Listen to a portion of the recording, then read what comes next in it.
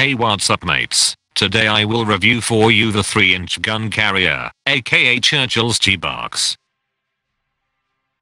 Let's start with the armor. On the front it has around 90mm, and on the sides it has around 76mm of pure English steel. On the roof it has 16, and on the back it has around 25mm, to protect the valuable tea from enemy shells.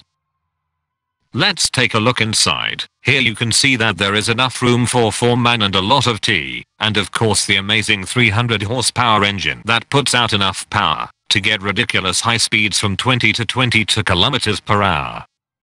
But, before you go to war, you have to decorate your tank of course. I recommend to place some of these eyes on the front, to scare of those jerrys, that will attack you from the front. After that, you can still place some jerry cans or some helmets on your tank. I will place this helmet on a little weak spot. It does not matter where you place the jerry cans, so I will just place them somewhere random.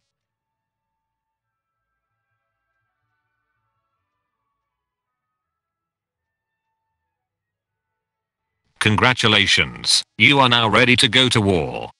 When you enter a round, you will notice that you're not the fastest. Even a KV-1 is a Formula 1 car compared to you. But, is it good in killing?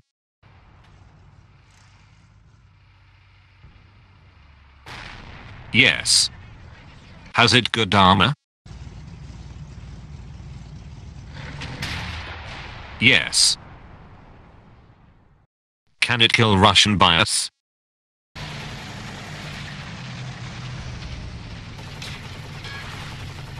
Yes.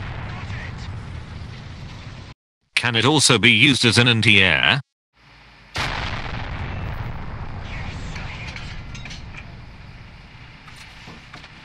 Yes. Can it survive a 4,000 pound bomb?